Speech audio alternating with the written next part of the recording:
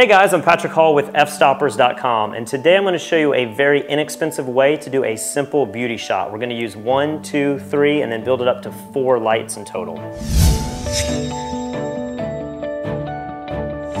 So a lot of photographers, when they get into the studio, they start to have this mindset that they need the most expensive gear. They need tons of studio lights, they need tons of modifiers, and the reality is that's simply not true. And so today we're going to do this whole shoot with speed lights and we're gonna use the f-stoppers flash disc as the main modifier for this beauty shot.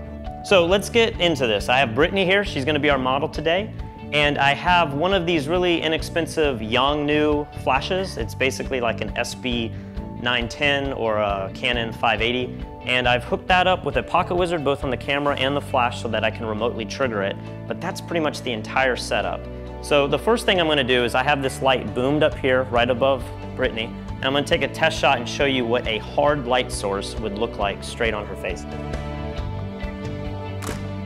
And you can see from this shot, it's, it's not horrible light. I definitely could work with this, but this is much more of a fashion shot and not a beauty shot. So the first thing I'm going to need to do is soften the light up so that we get nice beauty light falling on her, but I still want it to have some direction.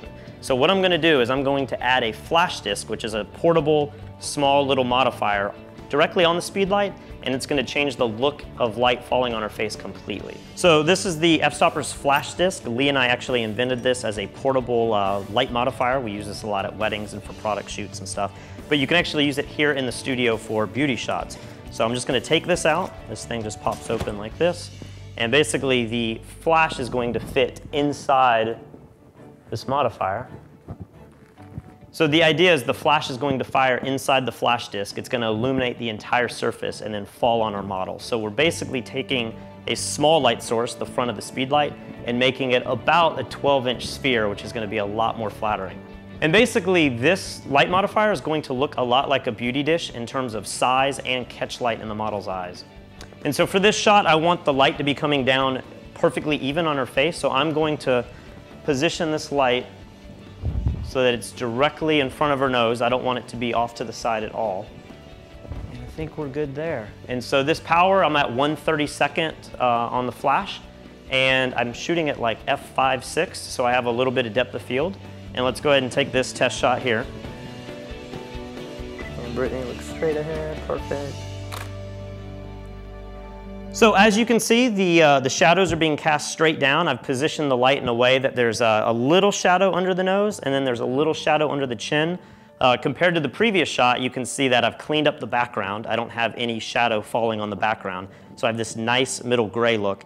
Um, it looks great. I think this is a very cool looking shot. So what I'm gonna do now is I'm gonna add a large silver reflector under Brittany so that we can get the shadow to open up a little bit more and start making this look a little bit more like a traditional beauty shot. So I have a table that I've built here. I like to be able to put my reflector on something without having my model have to do any work. So I'm just gonna prop up this silver reflector. You can get these things for pretty cheap. And basically this is just going to throw some light from the key light back up under her chin and just kind of open the shadows up. So let's go ahead and try this and see how this looks. And you can see that's opened up a lot of the shadows and it's starting to give a really flattering look on her face and it looks a lot more like uh, a beauty shot that you would see in a magazine. So as you can see, this shot looks great and you might be thinking this is exactly the stopping point. You know, this is where I want to be and you could retouch this and make this look killer. I'm gonna go one step further. I wanna edge out the side of her face a little bit, so I'm gonna use two more speed lights with two more flash discs just to give a softer light on the side of her face. And let's see if we can't rim out her shoulders and just kind of the edges of her cheeks. Basically what I have here is I have a Nikon, this is an SB800, I'm just gonna set this up about here. I want the uh, light just at shoulder height so that it's hitting both the side of her face and her shoulder.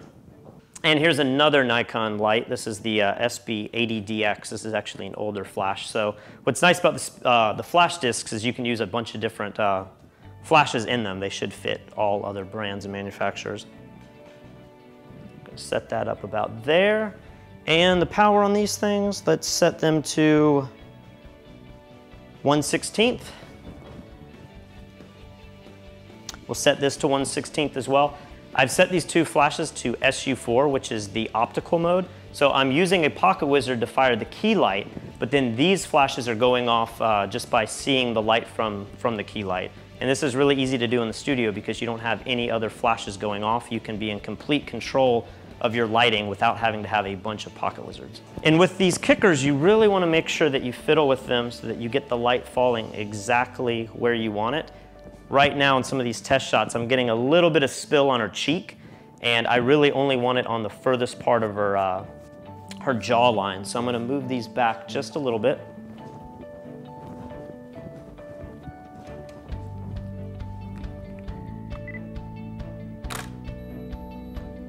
And so just so you guys can see what these kickers are gonna do, I'm going to turn this light really low and just have the key light barely filling in so you can see the effect of these kickers. So here's a shot that's a little bit underexposed for a beauty shot, but you can really see what the kickers are doing to edge her out. I'm gonna turn my key light back up. I'm gonna go up to an eighth power so that it's the correct exposure.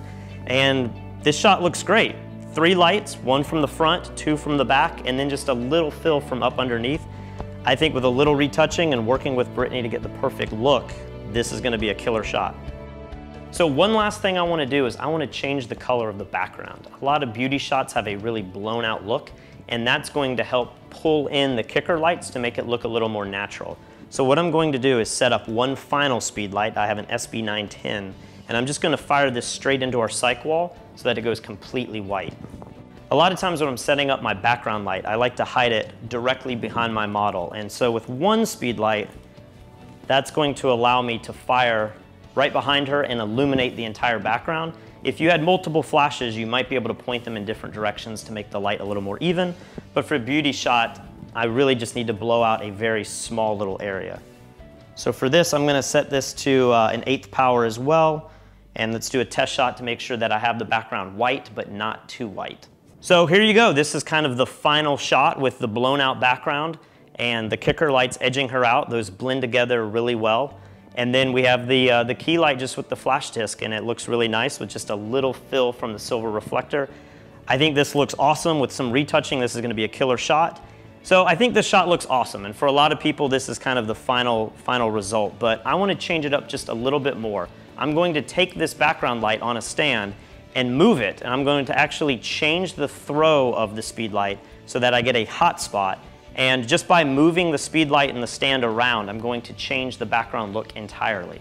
So I've changed the angle that the flash is hitting the background. I've changed the beam from being 24 uh, millimeters wide to being 200 millimeters, which is going to make a hot spot. And I'm just gonna change that throw and the position to see if I can get some different background lights on this shot. So there you have it guys. I think this shot is my personal favorite of the whole shoot.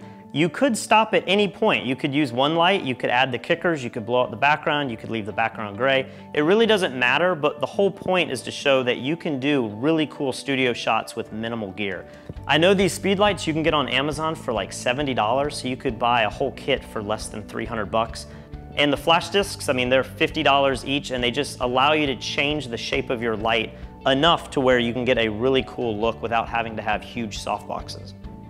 So I hope that demystifies the beauty shot in the studio. If you want more tutorials and behind the scenes videos, head over to fstoppers.com. And if you're interested in picking up a few of these flash discs, you can find those at fstoppers.com slash store.